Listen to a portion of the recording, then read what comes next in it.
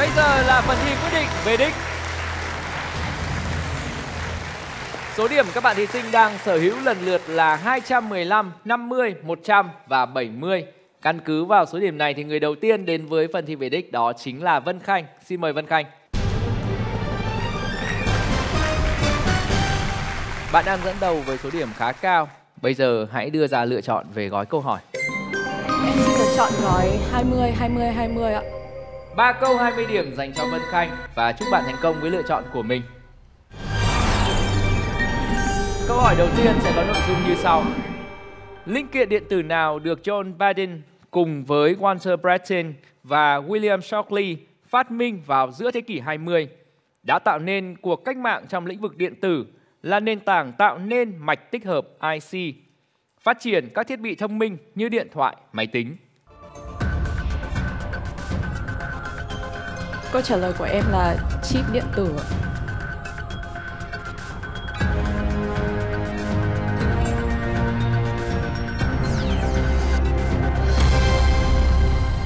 Xin mời các bạn thí sinh còn lại.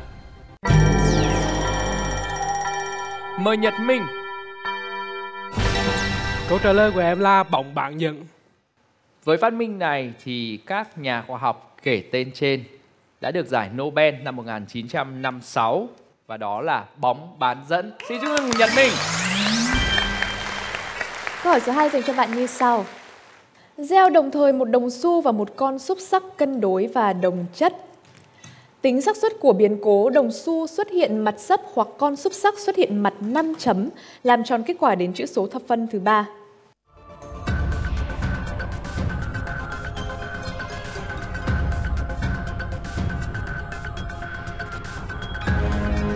Chị câu trả lời của em là 0,667 ạ.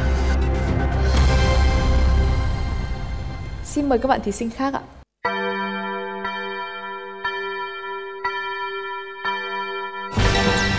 xác suất cần tính của chúng ta sẽ phải là 1 phần 2 cộng 1 phần 6 trừ 1 phần 2 nhân 1 phần 6 bằng 7 phần 12.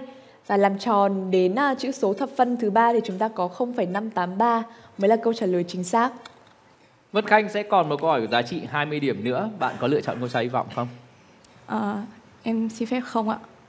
Câu hỏi của bạn như sau. Có một bài hát được nhạc sĩ Đỗ Nhuận sáng tác vào năm 1953 khi ông cùng đồng đội vượt đèo để chuẩn bị chiến dịch Điện Biên Phủ. Lúc ấy có người thắc mắc, trên bản đồ nước ta làm gì có địa danh Trần Đình, mật danh để chỉ Điện Biên Phủ? Có một người cất giọng, thôi dẹp thắc mắc nhé, tuyệt đối tin tưởng ở trên. Đời chúng ta đâu có giặc là ta cứ đi. Câu nói này là nguồn cảm hứng để nhạc sĩ sáng tác ca khúc nào?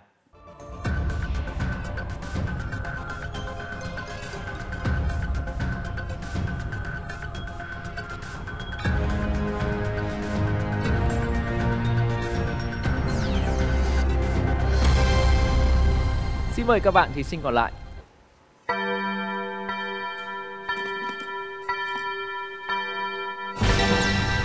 Đời chúng ta đâu có giặc là ta cứ đi. Hành quân xa, chúng ta hành quân xa. Đáp án là hành quân xa. Và đó cũng là câu hỏi cuối cùng dành cho Vân Khanh ở phần thi về đích này rồi. Bạn có thể trở về vị trí. Cảm ơn Vân Khanh. Người tiếp theo tham gia phần thi về đích đó là anh Khoa. Xin mời anh Khoa bước lên phía trước ạ. Một đấu pháp hợp lý là rất cần thiết vào lúc này. Và chúc anh Khoa thành công. Bạn lựa chọn những câu hỏi thế nào? Ờ, 233. À, 223. 20, 20 và 30. Câu hỏi đầu tiên có giá trị 20 điểm như sau. Địa danh nào được nhắc đến trong hai câu thơ sau của Xuân Diệu? Ôi má năm căn tóc ngả màu vẫn còn phải giữ chót. Cà Mau.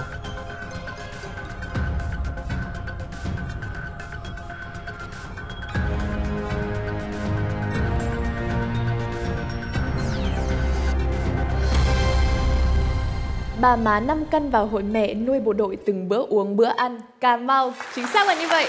Xin chúc mừng anh Khoa. Bạn đã có thêm 20 điểm. Câu hỏi tiếp theo của bạn sẽ có giá trị 20 điểm. Phương pháp tách biệt và tinh chế nào được áp dụng để tinh chế đường đỏ thành đường trắng?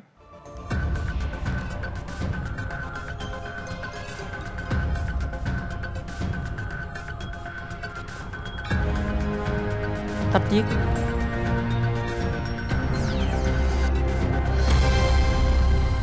Chúng tôi muốn nghe những câu trả lời khác ạ.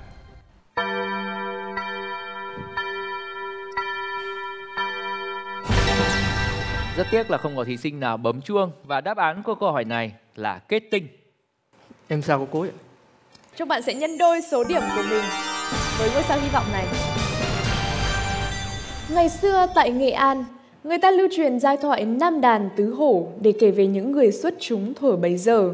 Uyên bác bất như san, thông minh bất như sắc, tài hoa bất như quý, cường ký bất như lương. Quý là Vương Thúc Quý, lương là Trần Văn Lương, còn san và sắc là những ai? Sang là Phan Bảo Châu và Sắc là Nguyễn Sinh Sắc.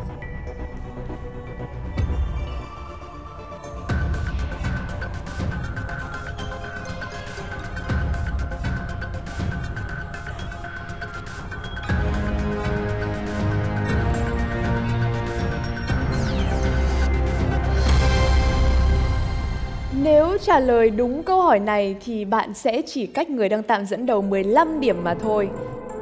Anh Khoa đã trả lời rất nhanh và bạn cảm thấy tự tin với câu trả lời của mình không? Em cũng không biết nữa. Nói chung là em khá là run. Với suy luận tại Nghệ An, chúng ta có thể kể ra rất nhiều những nhân vật lịch sử. Và câu trả lời đã mang về cho bạn 60 điểm. San là Phan Đăng San, Phan Bội Châu, Sắc là Nguyễn Sinh Sắc.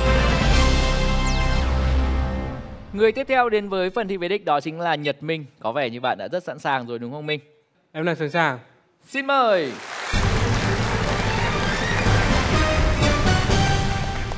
Bạn sẽ lựa chọn những câu hỏi thế nào? Em xin chơi hết mình với ba câu 30 điểm. Ba câu 30 điểm dành cho Nhật Minh. Bảy vở trèo cổ kinh điển của nghệ thuật sân khấu trèo Việt Nam là Trương Viên, Lưu Bình Dương Lễ, Chu Mãi Thần, Trinh Nguyên, Từ Thức và hai vở nào nữa?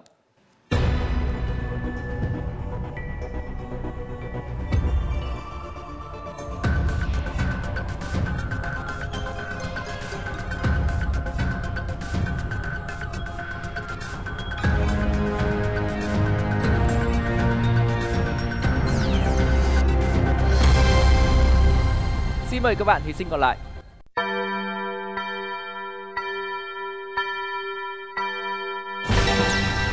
Vâng, hai tác phẩm này thì chúng ta đều đã được học. Quan âm thị kính và vở trèo Kim Nham.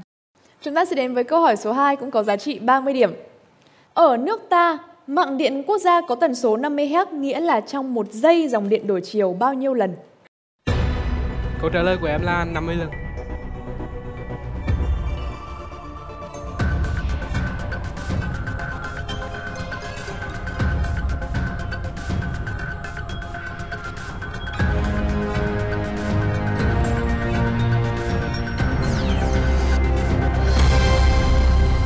Các bạn thí sinh còn lại xin mời.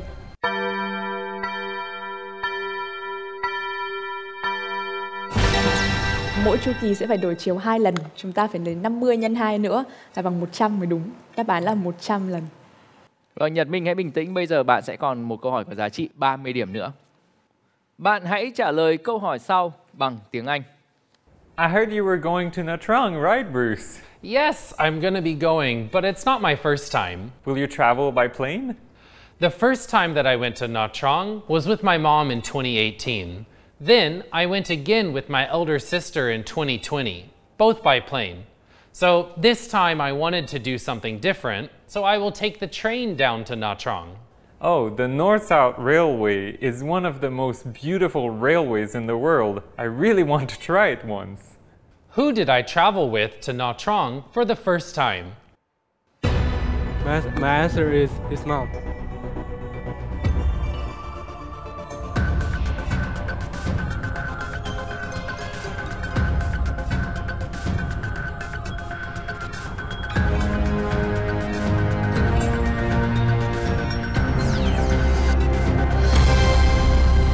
Nhật Minh đã nghe được những gì ạ? Dạ, Thì em có nghe được là anh ấy đã đi Nha Trang hai lần, một lần vào năm 2018 với mẹ và một lần vào năm 2020 với chị.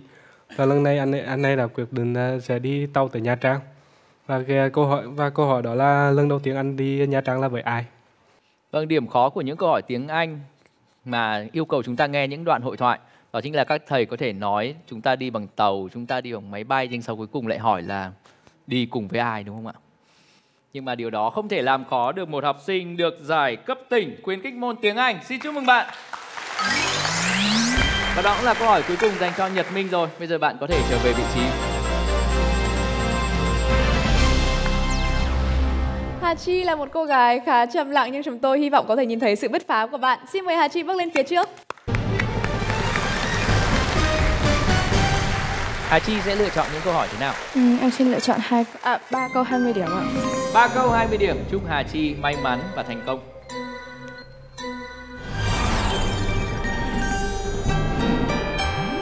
Loại đường nào cấu tạo nên bộ khung xương ngoài của tôm, cua, nhện? Câu trả lời của em là chitin ạ.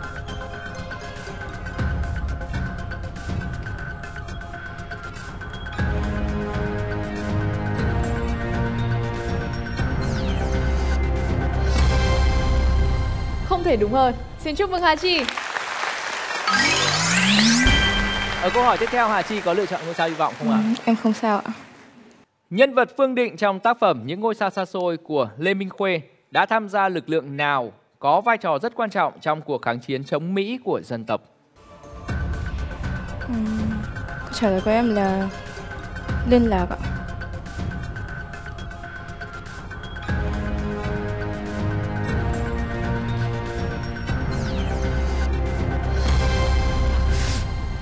Xin mời các bạn thí sinh còn lại. Mời anh Khoa. Câu trả lời của em là thanh niên xung phong. Vâng, chúng ta đang nhắc tới những hình ảnh đẹp và tiêu biểu của thế hệ thanh niên Việt Nam trong thời kỳ kháng chiến chống Mỹ cứu nước. Và nếu như anh Khoa trả lời đúng ở câu hỏi này thì bạn sẽ vươn lên dẫn đầu với số điểm 200. Nhưng điều đó có xảy ra hay không? Bạn chắc bao nhiêu phần trăm vào câu trả lời của mình ạ? Ờ, đây là cuộc chơi thôi. Ờ, em không dám nói chắc là em chắc bao nhiêu phần trăm nhưng mà nếu được thì vui, nếu không được thì, thì thôi, không sao. Thật ra thì các thí sinh của chúng ta tham gia trong cuộc thi ngày hôm nay các bạn rất hạn chế thể hiện cảm xúc của mình. Nếu mà vui thì khuôn mặt của bạn sẽ như thế nào? Cười thôi. Vậy hãy cười thật tươi vì bạn đang có 200 điểm dẫn đầu ta đang thấy màn đổi ngôi. Tuy nhiên chúng ta còn một câu hỏi nữa và chưa có điều gì là chắc chắn ở đây cả nên tất cả các bạn thí sinh của chúng ta hãy tập trung vào câu hỏi cuối cùng này. Và điều quan trọng hơn cả đó là cổ vũ cho Hà Chi. Để Hà Chi thêm bình tĩnh tự tin và hoàn thành xuất sắc phần thi của mình. Tận Huy viết lên bảng một số chính phương có 3 chữ số không lớn hơn 200. Huy nhận thấy số này nếu xóa đi một chữ số ngoài cùng bên phải thì được kết quả cũng là một số chính phương, tìm số mà Huy đã viết.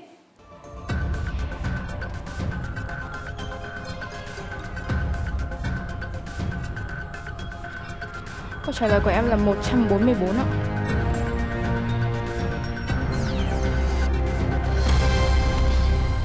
Xin mời các bạn thí sinh khác ạ.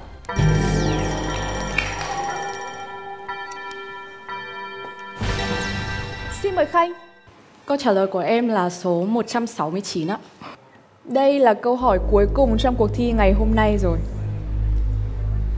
Chúng tôi cũng không thể ngờ được rằng là câu hỏi cuối cùng vẫn chưa thể biết được rằng ai sẽ là người chiến thắng trong cuộc thi ngày hôm nay.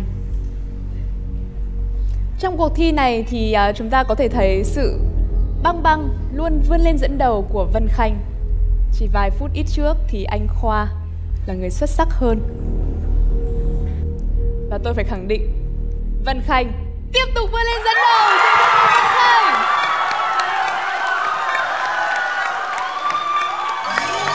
Hà Chi, em cũng đã hoàn thành xong chặng đua của mình rồi. Cảm ơn Hà Chi rất là nhiều. Cảm ơn em. Và chúc mừng Vân Khanh là thí sinh giành được vòng nguyệt quế của cuộc thi ngày hôm nay. Một cuộc thi khá gay cấn ở những giây phút cuối cùng và hãy cùng nhau tổng kết số điểm của bốn bạn thí sinh. Đến từ trường trung học cơ sở Trung học phổ thông Việt Úc Hà Nội và cũng là chủ nhân của vòng nguyệt quế danh giá trong cuộc thi ngày hôm nay, Vân Cảnh 215 điểm. Bạn Nguyễn Hà Chi đến từ trường Trung học phổ thông chuyên Thái Nguyên về đích với số điểm 30.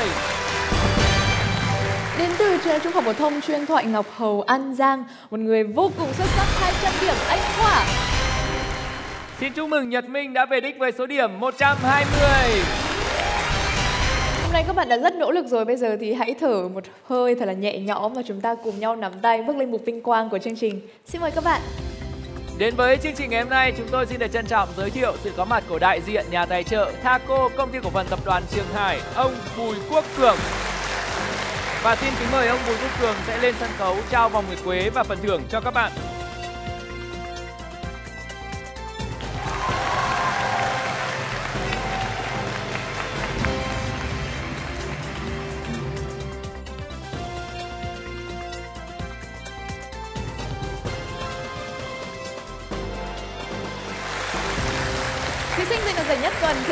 Phần thưởng trị giá 10 triệu đồng đến từ nhà tài trợ Thaco, công ty cổ phần tập đoàn Trường Hải.